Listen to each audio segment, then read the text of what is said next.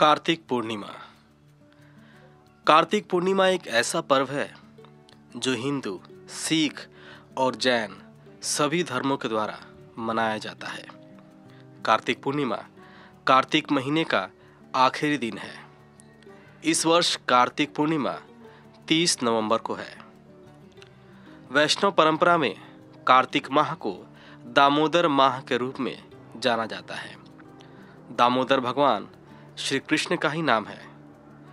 हिंदू पंचांग के हिसाब से कार्तिक माह चंद्र महीनों में सबसे पवित्र माह माना जाता है। कार्तिक पूर्णिमा के दिन पवित्र नदियों में स्नान का बहुत अधिक महत्व है।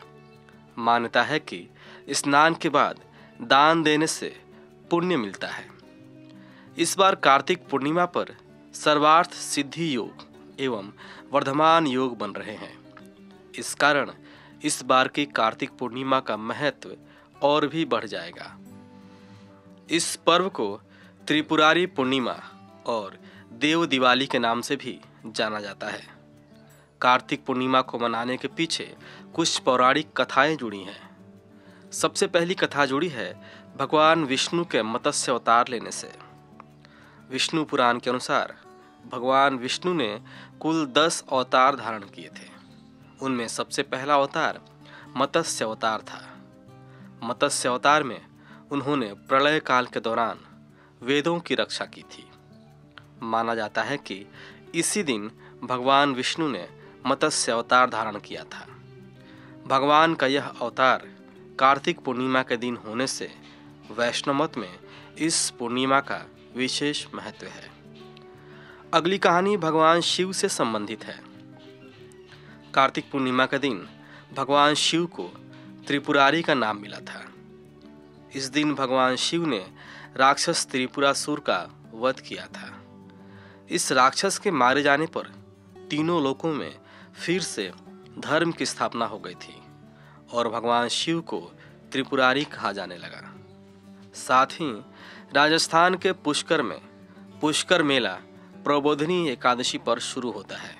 और कार्तिक पूर्णिमा तक जारी रहता है, जिसमें कार्तिक पूर्णिमा वाला दिन सबसे महत्वपूर्ण है। यह मेला भगवान ब्रह्मा के सम्मान में आयोजित किया जाता है, जिनका एकमात्र मंदिर पुष्कर में है। मान्यता यह भी है कि पुष्कर झील में कार्तिक पूर्णिमा पर स्नान करने पर मोक्ष की प्राप्ति होती है। तमिलनाडु में इस दिन कार्तिकई दीपम नाम का पर्व मनाया जाता है। जहाँ पूर्णिमा कृतिका नक्षत्र से मेल खाती है। लोग अपने घरों के बाहर दियों की हल्की रोशनी करते हैं। साथ ही तिरुवन्नामलाई में कार्तिकई दीपम मनाने के लिए दस दिवसीय वार्षिक उत्सव आयोजित किया जाता है। अगली कथा माता तुलसी से संबंधित है। मान्यताओं के अनुसार तुलसी माता का विवाह देव उठनी एकादशी के दिन भगवान विष्णु के शालिग्राम रूप के साथ हुआ था। और पूर्णिमा के दिन तुलसी माता का बैकुंठ धाम में आगमन हुआ था। सिख धर्म में भी कार्तिक पूर्णिमा का विशेष महत्व है। मान्यता है कि इसी दिन सिख धर्म की स्थापना हुई थी और सिखों के प्रथम गुरु गुरु नानक देव जी का जन्म हुआ था।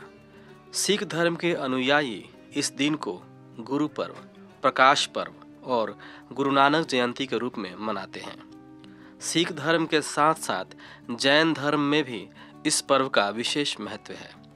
जैन धर्म में कार्तिक पूर्णिमा के दिन पालीताना की तीर्थ यात्रा करने की परंपरा है।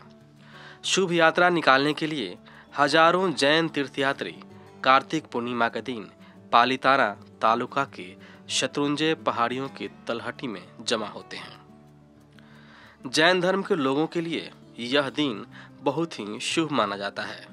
यह दिन पैदल चलने के लिए भी अधिक महत्व रखता है, क्योंकि चतुर्मास के चार महीनों के दौरान पहाड़ियों को जनता के लिए बंद कर दिया जाता है और कार्तिक पूर्णिमा के दिन प्रभु के द्वार अनुयायियों के लिए खोल दिए जाते हैं। इस वीडियो के लिए बस इतना ही। आशा है कि ईश्वर अपने हर संभव रूप में आपके जीवन में खुशहाली लाए।